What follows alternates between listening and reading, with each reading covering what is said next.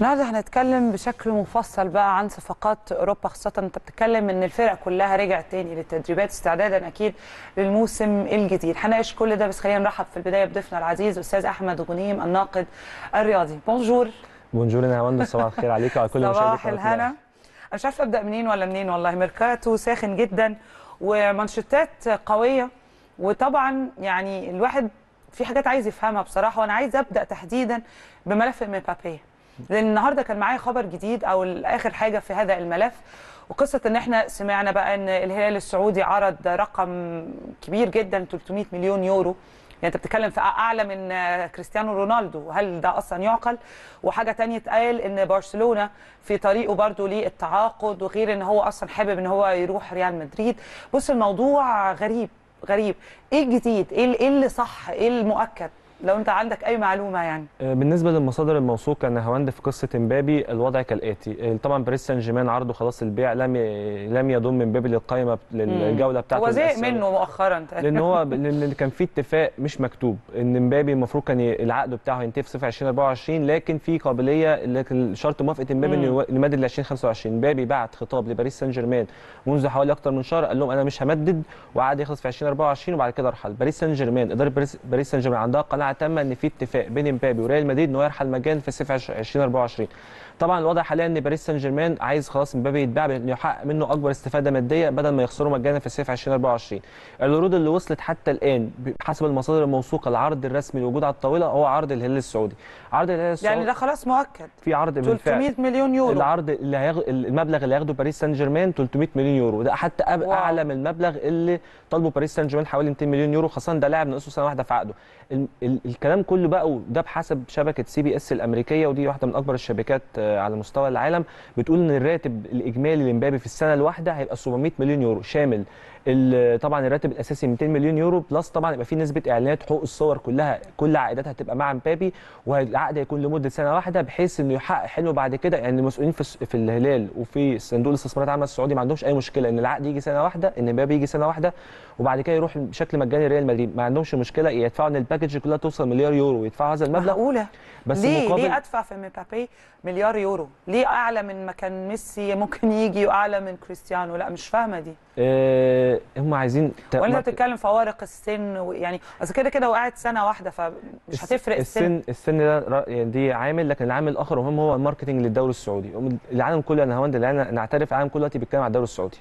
وده هم اللي عايزينه. بس رقم كبير في رقم طبعا أنا ما بقللش منه يعني بس رقم هيوج يعني. الاكيد وبحسب كذا مصدر سواء ليكيب الصحفي الإيطالي الشهير فابريزيو رومانو شبكة CBS سكاي سبورتس 300 مليون يورو. وبالفعل باريس سان جيرمان وافق على العرض بشكل مبدئي وسمح permission للهلال إنه يبدأ يتكلم مع مبابي.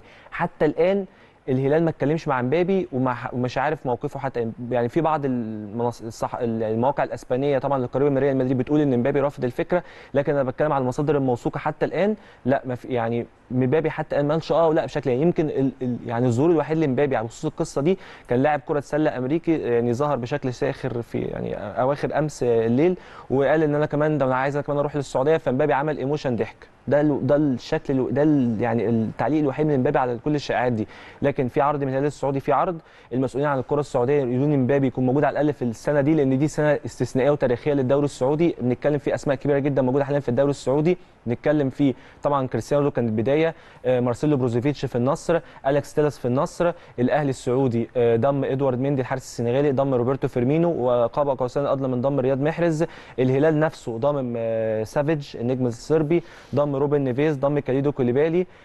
فلا يعني هم دي سنة استثنائية وبالتالي لو ضموا مبابي حتى لو سنة واحدة وبعد كده هيمشي مجانا رغم كل الاموال اللي هتدفع دي بعد كده يمشي مجانا. يروح ريال مدريد المسؤولين في الدوري السعودي بحسب كل المصادر الموثوقة. ما عندهمش مشكلة في سبيل ان مبابي يكون موجود marketing للمشروع الضخم جدا اللي بيتم حاليا في المملكة العربية السعودية على صعيد كرة القدم. يعني هل الموضوع يستحق؟ ما ال marketing حصل حصل.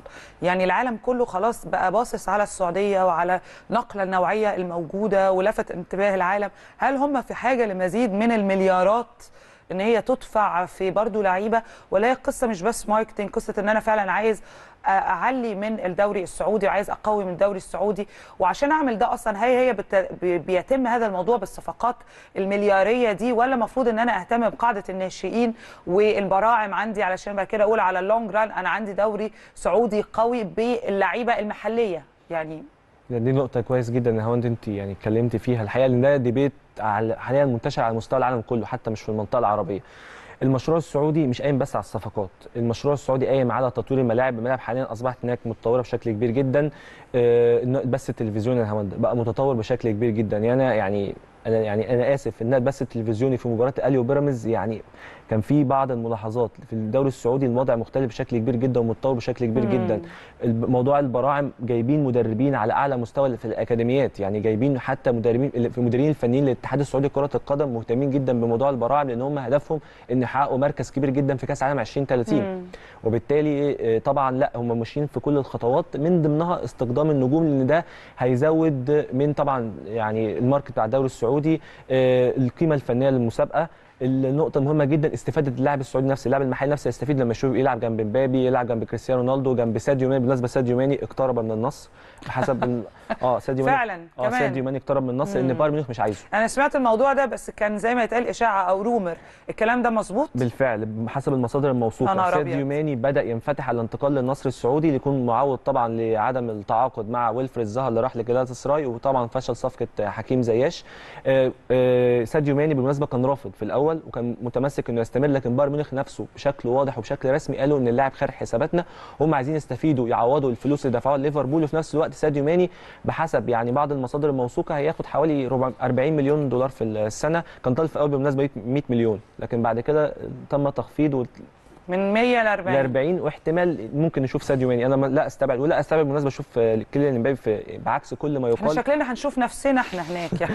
أنا لا أستبعد ألاقي نفسي يعني هناك أنا يعني الوضع بقى غريب العرض جداً. مغري جدا. اولا من الناحية المادية. آه طبعا. وهيلعب وفي نفس الوقت هيلعب لأن هو هيواجه مشاكل. لو استمر في باريس سان جيرمان بهذا الشكل ورغم كل يعني التحذيرات من اتحاد رابطة اللاعبين الفرنسيين ولكن إنه ما يتمش تجميد كيليان امبابي لكن ما استبعدش أي شيء إنه ممكن هي سنة واحدة وبعد كده يحقق حلمه بالذهاب لريال مدريد. فكل شيء وارد في كرة القدم اللي بنشوفه حاليا في الميركاتو تحديدا من الجانب السعودي أمر لم يكن متوقع فوق الخيال بالنسبة لي آه على الأقل. ده, ده غير متوقع تماما يعني. ده حقيقي ده حقيقي. آه، اتقال برضو من ال- الكلام اللي اتكتب يعني في المواقع الرياضية المختلفة قال لك آه، المؤثر الأكبر في آه، موضوع مبابي وملف مبابي آه، وإصراره على الرحيل قبل الموعد هي والدته فايزة العماري اللي هي لها تأثير كبير جدا وبمثابة مديرة اعمال وهي اللي بتبقى لها الكلمة الأخيرة يعني في سوق الانتقالات الخاص بيه فهل الكلام ده مظبوط ولا لأ؟ وانت وجهة نظرك برضو إذا كان ده حقيقي هل هي فعلا بتبص على المصلحة المادية لابنها وده مشروع جدا؟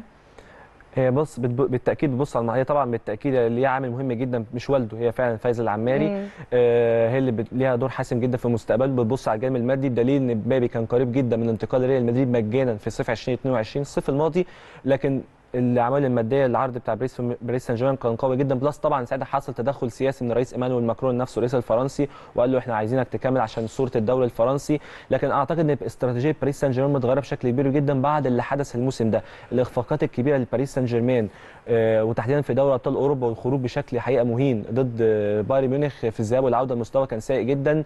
اللي حصل مع ليونيل ميسي والهجوم الجماهيري الكبير عليه آه، فشاف إدارة باريس سان شايفة حاليا تبص على القيمة الفنية أكتر من مجرد أسماء. إن إحنا بنرص أسماء في الهجوم مبابي وميسي ونيمار مم. والمحصلة كانت على الصعيد الأوروبي صفر. مع احترام الدوري الفرنسي ال target كان بتاع باريس سان جيرمان بكل هذه الأموال التي أنفقت كان دوري أبطال أوروبا وهذا الهدف لم يتحقق يعني. فبت... صحيح. وفي نفس الوقت هم شايفين مانشستر سيتي المشروع بتاعه نجح بشكل كبير جدا. حقق ثلاثية تاريخية في الموسم الماضي وبإنفاق ذكي. وحقيقه المشروع الإماراتي في مانشستر سيتي مشروع ناجح جدا. وحاليا دلوقتي مانشستر سيتي كمان ما بقاش يدفع مجرد بيدفع أموال. يعني حتى الآن صفقة يعني جافارديول مدافع كرواتيا لايبزيج. لايبزيج مشترط 100 مليون يورو عشان يبيع جافارديول لمانشستر سيتي لكن حتى الآن مانشستر سيتي بيتفاوض إنه يقلل المبلغ وهو شايف إنه يعني خلاص ما يبقاش فيه انفاق بشكل زي الأول. فالمشروع الإماراتي في مانشستر سيتي ناجح بشكل كبير جدا على عكس الوضع في باريس سان جيرمان انه بداوا أعتقد هيستنسخوا التجربة الإماراتية. ما يبقاش مجرد بس أسماء لا القيمه الفنية عشان نقدر نحقق الهدف. أنا ليه حاسة ولسه ما فيش كلام على الموضوع ده بس ليه حاسة ان قريب كده هنسمع إن هالاند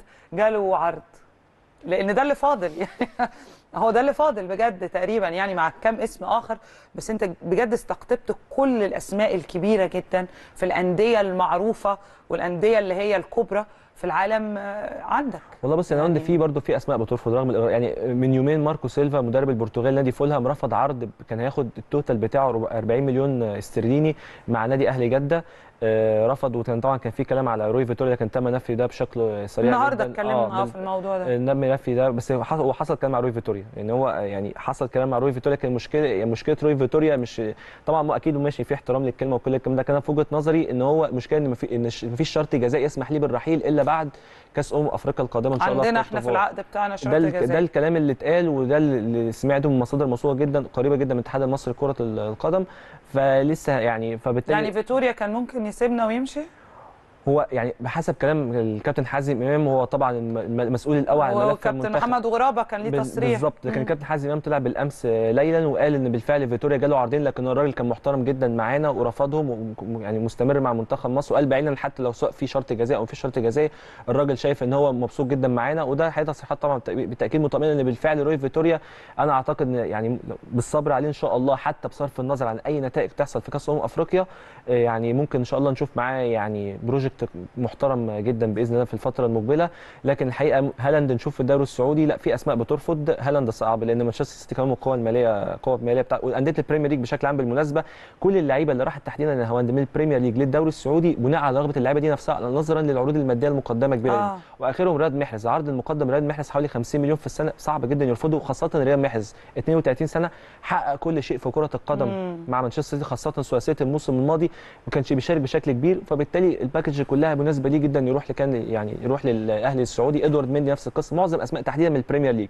لكن الأسماء اللي سواء ذهبت من الليجا أو من الدوري الإيطالي دي في الأساس ذاهبة لأسباب مالية بحتة واخرهم وكان أبرزهم طبعا مارسيلو بروزوفيتش اللي كان برشلونة عايزه. لكن برشلونة طبعا نظر الصعوبات المالية الكبيرة. وبالمناسبة لما أنت ذكرت برشلونة الخبر بصراحة بالنسبة لي لو إن طلعته صحيفة مش يعني موثوقة جدا زي آه. الاكيب لكن بالنسبة لي الخبر كان غريب جدا. يعني هو يعني على أي أساس هو لا يملكه أصلا القدره الماليه. لشراء أي حد برشلونة يعني حتى حالياً. الان هواند كل الإنفاق بتاعه في الميركاتو 3.4 مليون استرليني ضم روميو لاعب الإسباني قادم من جيرونا عشان يكون معوض لسيرجيو بوسكيتس اللي إلكاي جوندوجان كان بشكل مجاني ومارتينيز. القادم من أتلتيك بلباو المدافع فعلى أي أساس الإسباني يعني بالظبط وبرشلونه عنده أزمة مالية طاحنة حتى الآن الصفقات دي ما اتسجلتش في كشوفات رابطة الدوري الإسباني مم. فبالتالي كان خبر يعني بالنسبة لي كان خبر كوميدي جدا غريب ظ- جداً. آه خبر يعني. برشلونة ظروفه صعبة جدا يعني خصوصا كمان مستواه كمان على الملاعب أو على الأرض مش أفضل شيء فاللي هو نقول مثلا هيروح علشان النتائج مش هيفكر في القيمة المالية ده مش برشلونة يعني. بالفعل آه صحيح إنه حقق الليجا لكن حقق الليجا في وجهة نظري ريال مدريد كان له دور كبير جدا. بسبب التخبط في المستوى صحيح. لكن squad برشلونة صحيح. لو قارناه ب squad ريال مدريد الحالي في السنة الجاية أنا أرشح ريال مدريد نظرا كمان للصفقات اللي ابرمها ريال مدريد وتحديدا جود بيلينجهام أغلى لاعب من أغلى اللاعبين في الميركاتو هذا الموسم. وبالمناسبة أنا هقول ملحوظة سريعة جدا أغلى اثنين لاعبين في الميركاتو حتى الآن من إنجليز من منتخب إنجلترا. جود بيلينجهام وديكلان رايس لاعب وسط ويست هام اللي انتقل إلى أرسنال بمبلغ أغلى لاعب بريطاني حاليا في التاريخ 105 مليون استرليني. فيعني لا ده باليورو كام بقى؟ ما لا مش مش شاطر في الحساب ما أقدرش. نحب الأرقام قوي لا بس هو يعني بالاسترليني بالاسترليني 105 مليون بس مبلغ ضخم مبلغ ضخم طبعا, طبعاً. لديكلان رايس خصوصا إنه بيلعب في وست هام. ده نادي كان بيصارع على الهبوط الموسم الماضي.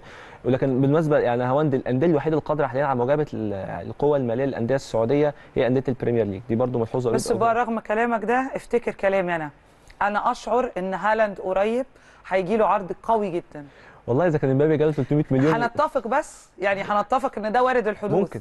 نفتكرها بقى النقطة دي. لا ممكن ممكن. بس. لا أتفق معاك إن ممكن كل بعد اللي حصل بعد اللي بيحصل في ال 48 ساعة الأخيرة كله متوقع. كل شيء متوقع. ميسي كان مرفوض عرض خيالي يا نهواند. أنا حاساه هيندم.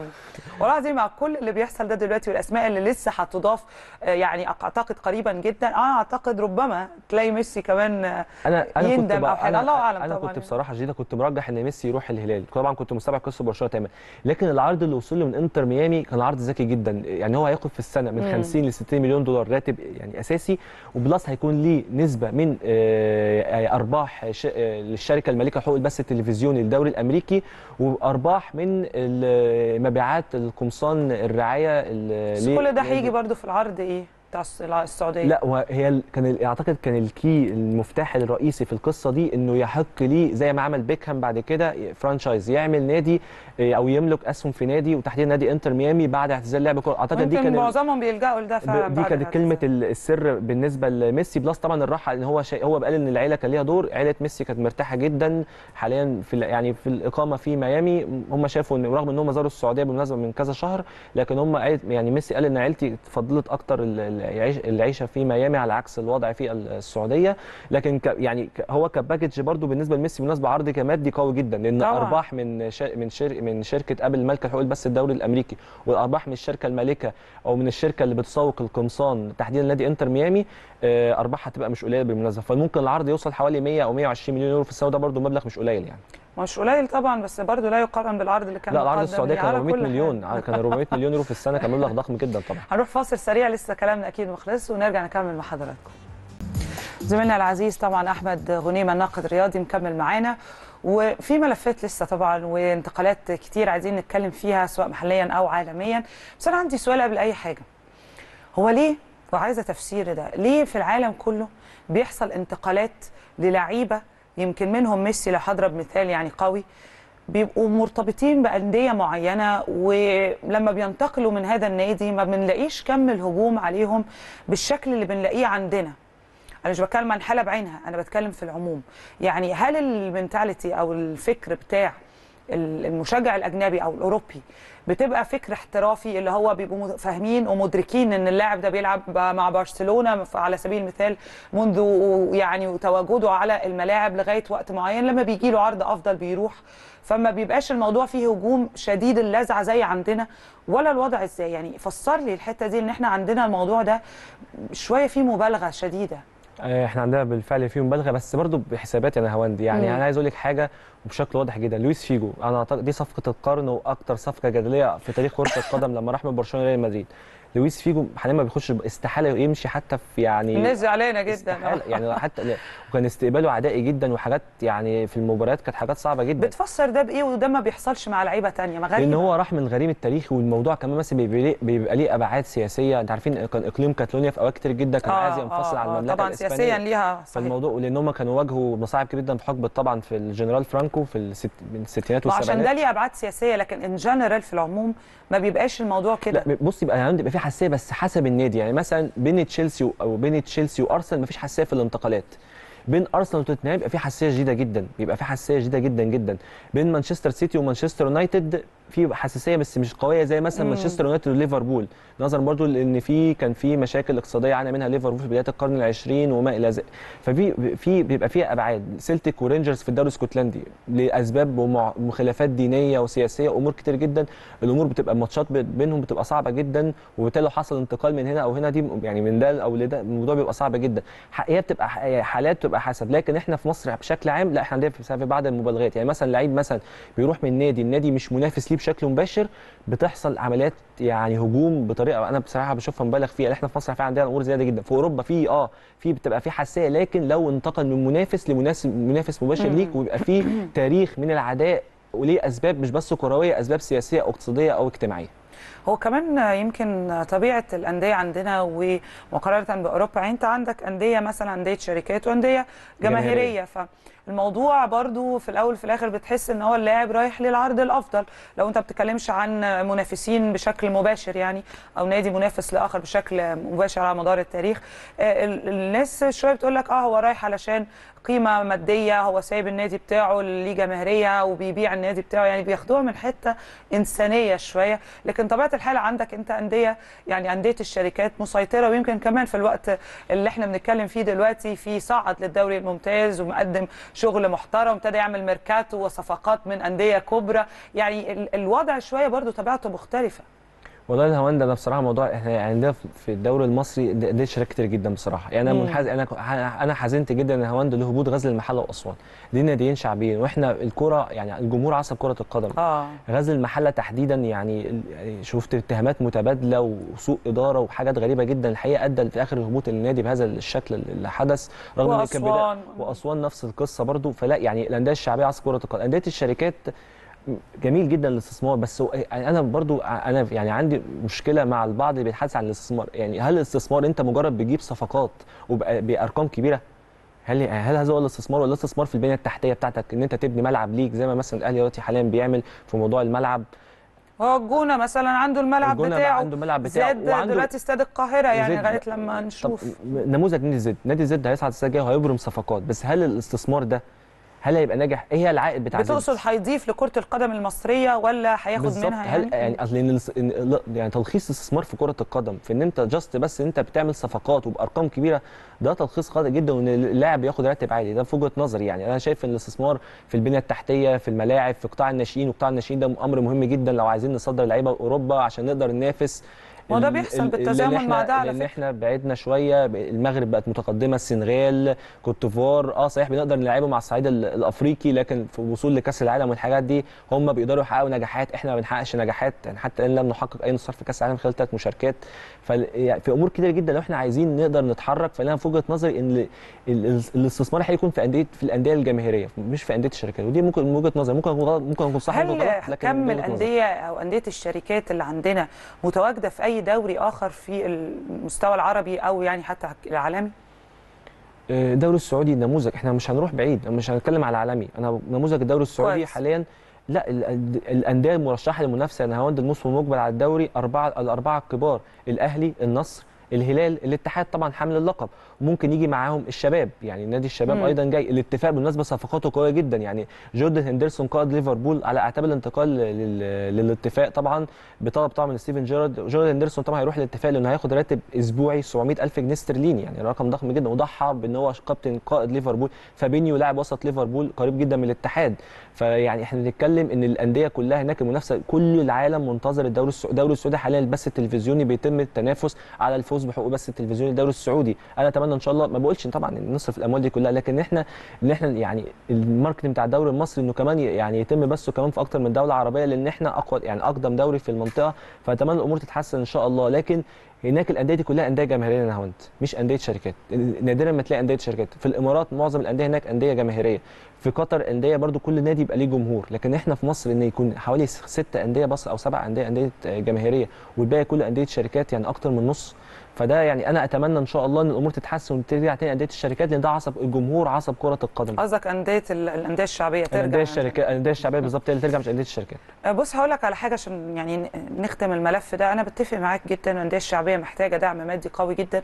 لكن تيجي تتكلم مع حد من الأونرز أو حد من الناس المعنية بأندية الشركات هم ليهم فكر معين. قال لك أنا مش هضخ فلوس مع الأندية الشعبية علشان في الآخر القرار ما يكونش في إيدي. بيحصل تضارب في المصالح بيحصل إن القرار ما بيكونش بإيدك.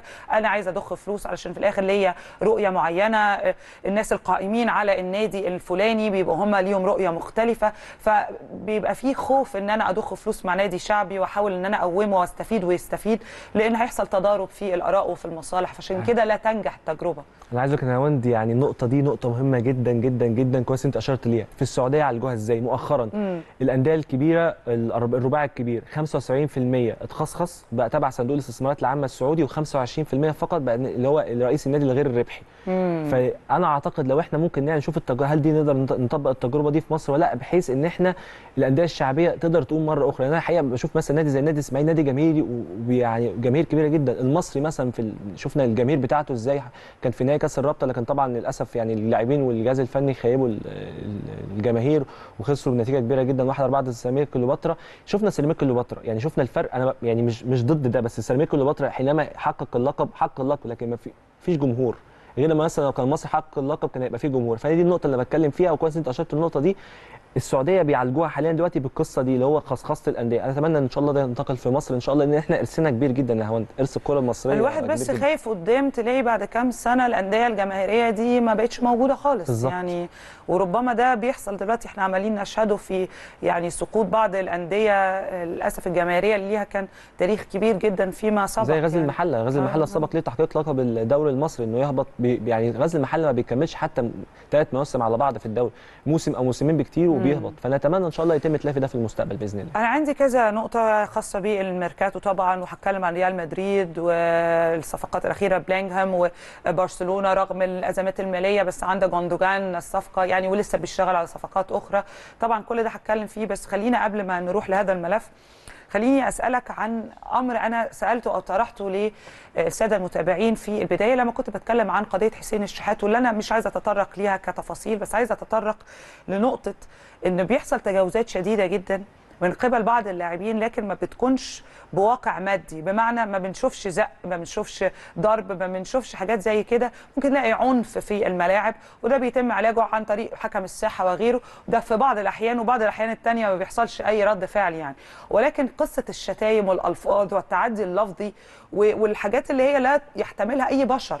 لما ألاقي أنا كلاعب أهلي بيتم سبهم أو غيره أهل بيتي كل ده يعني لما تيجي تقول تدارك نفسك ولازم اعصابك وكده. في الأول وفي الآخر برضو اللاعب ده إنسان وأنا لو حطيت نفسي مكانه ولقيت حد بيتعدى على أهل بيتي أكيد لن أقبل.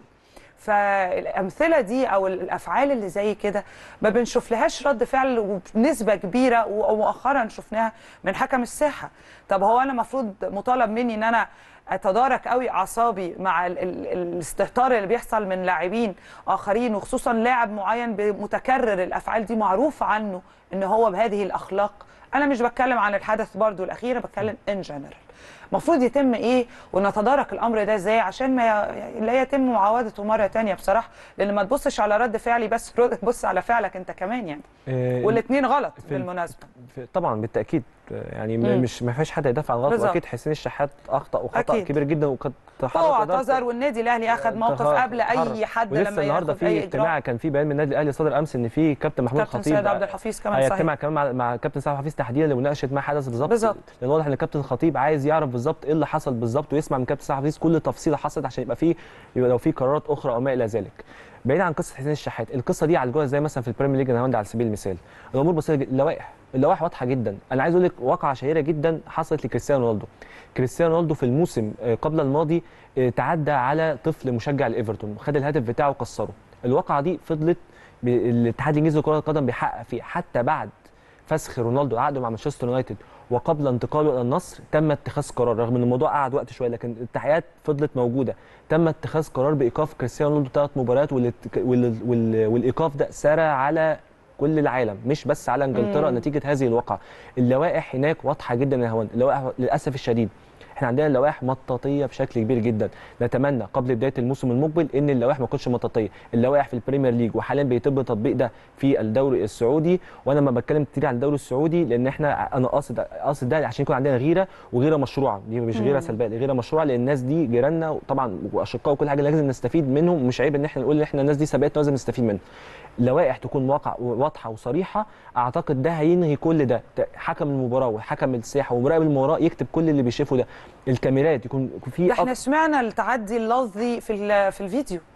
يعني لو انت عندك حاجة وكلنا شفناها تعدي ب يعني مادي طب أنا شفت التعدي اللفظي. هل ده بيحاسب؟ وده لا يحاسب. يعني أنا بس عايز افهم كجماهير حتى مش كإعلام هو أنا ليه بحاسب ده وما بحاسبش ده؟ يعني أنا مطالب مني كلاعب افضل العب في الملعب وحضرتك عمال تشتمني وتشتم أهلي وأنا عايز اكمل وابقى مركز في اللعب وما اجيش جنبك؟ يعني ما ده برضو unacceptable يعني. مثال تاني مثال تاني هوند أنا بحب أضرب بالأمثلة عشان دي طبعاً، بتبقى حاجات طبعاً. حاجات حصلت.